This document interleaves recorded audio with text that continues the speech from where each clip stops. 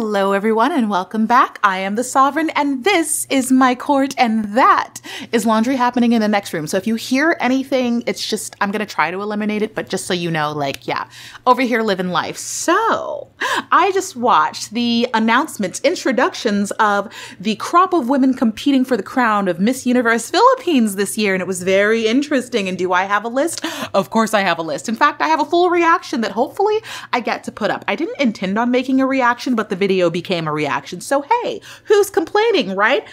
I do have my list, and before we even get into that, this press presentation is our first look into the contenders vying for the crown this year.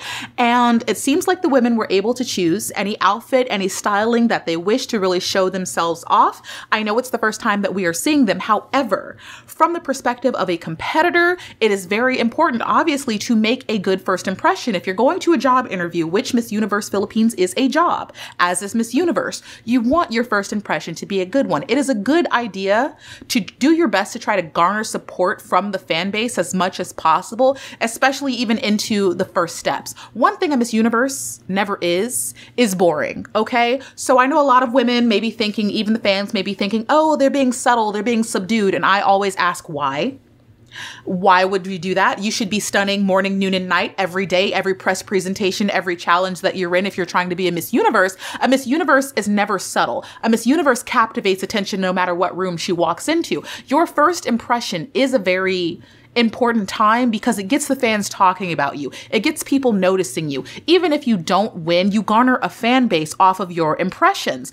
And having that push, remember there's there's times in competition where fans are voting for women women to win certain awards or be pushed further into competition because usually they do sort of eliminations throughout the expanse of Miss Universe Philippines. So it's important to garner support from the fan base as early as possible and be consistent in your presentation and your skill level. If anything, you want to consistently improve. Now, a lot of people strategize that maybe if I start a little bit lower and then build, it will get me support. But if anything, it's going to get you overlooked or it's get people like me who are super fans who are going to look at you and be like, she's really inconsistent with her her performance ability. Um, you want to be good no matter what. You want people raving about you. You want to be in a top five list every single time. You can drop off at any point. You can falter at any point. Something can happen. But those consistent women never let me down. Those are the women that usually do well in competition overall. And you want to be one of those. So, first look, first impression is important why do people always want to message me when I'm on camera? Are you like watching me? Do you do you know as soon as I hit the button that I'm in front of an audience? You do that on purpose? Like I'm not going to stop. So, I have a list of 13 right now, and that is just the general list of women that made a positive impression upon me of, oh, she has a lot of potential to win this competition. So, I think there are 40 women if I'm not mistaken that I viewed in this presentation. Of the 40 right now, only 13 I looked at and was like, wow, she could win. Now, that's not to say that this is bad eh, or everybody was awful. Um, on average, this is a very good batch of competitors. No one really has a terrible walk. I think there was maybe one or two girls I notated that they needed to really work on the walk. But overall, everybody seems like they have had some sort of preparation to step on the stage. When everybody is at least very decent, that raises the bar a bit. Had there been like, you know, tragic walks and like terrible, you know, outfits here and there, then my standards wouldn't be as high. But for Miss Universe Philippines, because everybody kind of has a good awareness of what expectations are of them, it makes the bar a little bit higher. Um, so nobody in here I think was super awful. I think there was a couple girls where I'm like, oh, you need to work on the walk, you need to work on outfits, we need to do better with that. But for the most part, everyone the average woman was decent, but there were 13 that was pretty darn good.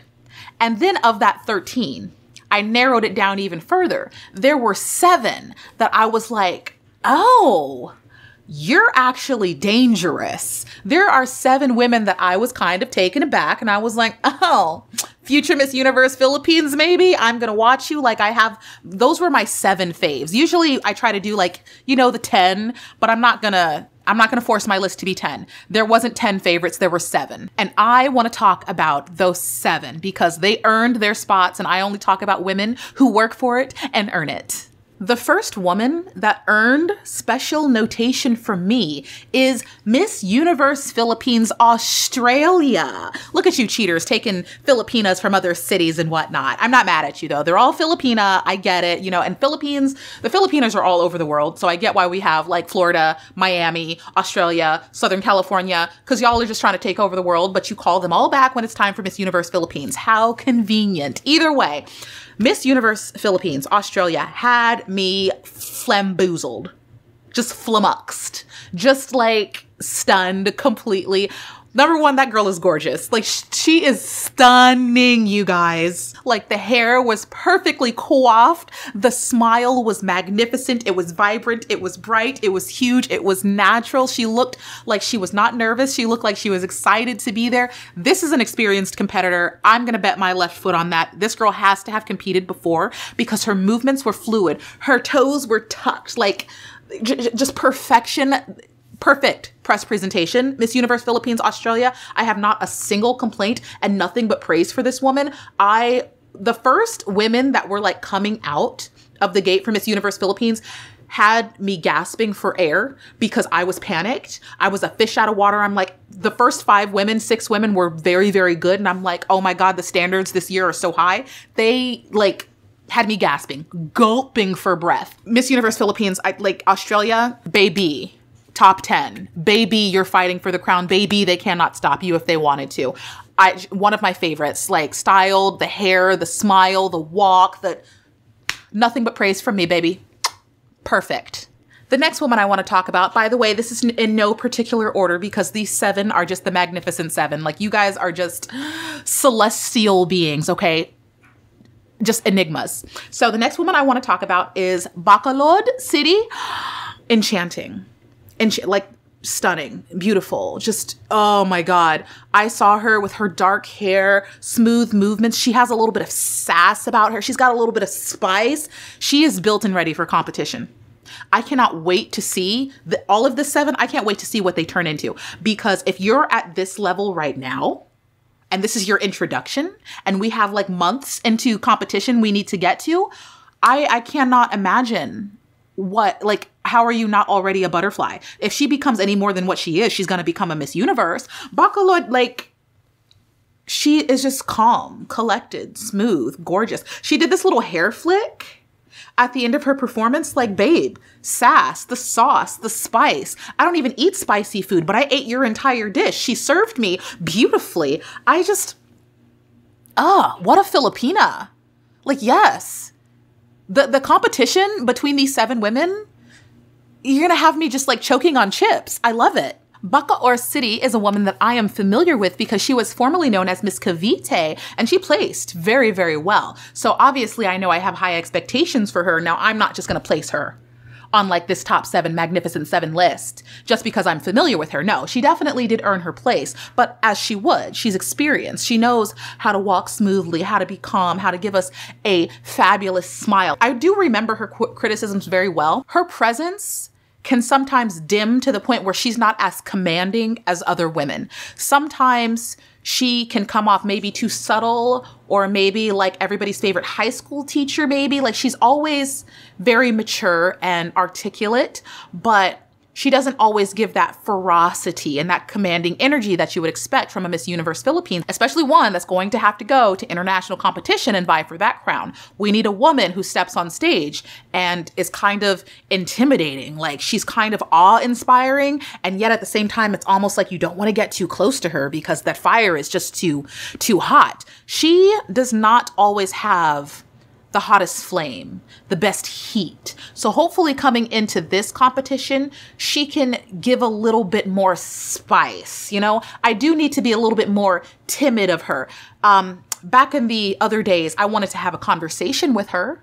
I wanted to give her hugs, but I wasn't necessarily intimidated by her. I wasn't necessarily like, oh my God, that's a queen. Though she is a very respectable woman, and I'm hoping she gives off a little bit more commanding energy this time around.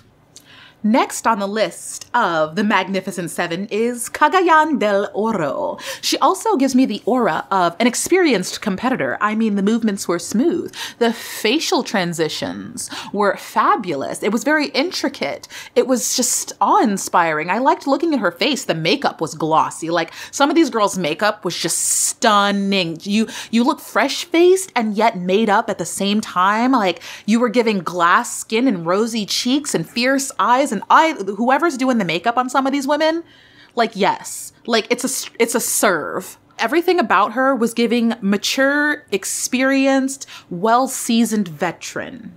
So I'm assuming you guys are going to tell me in the comment section what competition she came from because there's no way this is her first time. Okay, the next woman, the next woman is special. Like if I had to pick like a top two, right? If I had to have a top two, it would be Australia, Miss Miss Universe Philippines, obviously, Australia, or this woman. This one, those two, these two women, oh, they make me so like excited. Like they make me so happy. Like fed my spirit, nursed my soul back to life type of feeling. Miss Universe Philippines Leyte, I love you, girl. I love you. Oh my God, so much to feast. I watched her performance. I couldn't stop looking at her. I rewatched it again and again and again and again. Like I couldn't stop. Mesmerized. Like everything about her I loved. Her legs are a mile long. She had this tiny little yellow dress. It is a periwinkle, not periwinkle, I am tripping. It is a pastel, beautiful, like baby yellow with bows all over the place. She had a cute bow in her hair. She's giving cute in a way that like nobody else could. The girls were trying. Okay, I did see the other ladies who were trying to give like classy, who were trying to give cute, but she didn't do it right. She gave cute in a way that was still like respectable. It was still kind of fierce. It was still kind of like enchanting. She did it right. Typically, when women dress this way, like they're dressing sweet and demure, their performances are also very boring. But she came out in this very sweet, demure kind of outfit, which also is still kind of sexy because it is very, very short. And she gave a dimensional dynamic performance with her face like it was very sweet smiles and yet there was mischief behind her eyes she was smizing and doing things with her eyes and her face that just had me stunned i just wanted to stare at her she walks and moves with such ease. There was not a hint of nervousness around her. It seemed like she was just on a stroll. She was just on a stroll that day and happened upon the Miss Universe Philippines stage just to say hello and greetings to all of you who were oh so lucky enough to bask in the glory and glow of her presence. And then she sauntered away to be seen another day. Like, I just wanted to see her again. I just like, are you going on a picnic and can I go? And why are you leaving me here? Everything about her was just so calm. It was just so easy. And yet her skin was glowing and her face was fresh and her hair was bright. And I just want to sit here and think about her because her the, the thought of her makes me happy.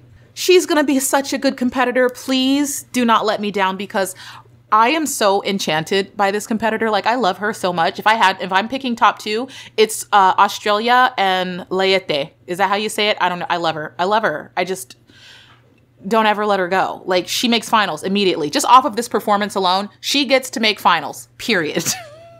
Next, I have another long legged supermodel, I assume, Miss Taguig, who came out in this beautiful burgundy outfit and she was swinging those sleeves. As I say, if your outfit has some movement, use it. And Taguig came out with a fabulous walk. I mean, she also presented like a seasoned competitor, legs a mile long, like, oh my gosh, skin a glistening, hair perfect, like, amazing.